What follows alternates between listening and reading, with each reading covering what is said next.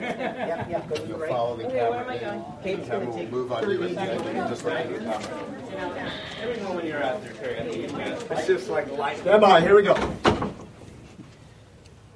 Here we go, three, two.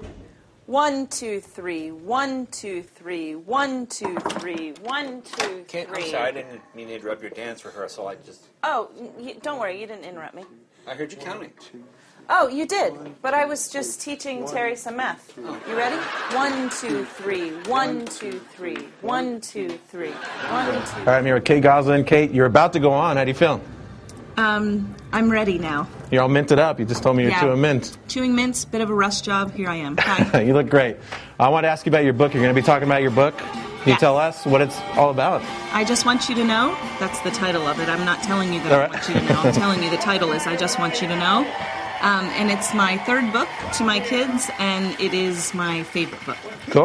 All right, we got to check it out. And you have a new show, Twist of Kate. What's that about? Twist of Kate is a new Twist of Kate. I'm going to be traveling, uh, visiting women, moms, women, people across the country who have amazing stories, and I'm going to learn and try to help them. Cool.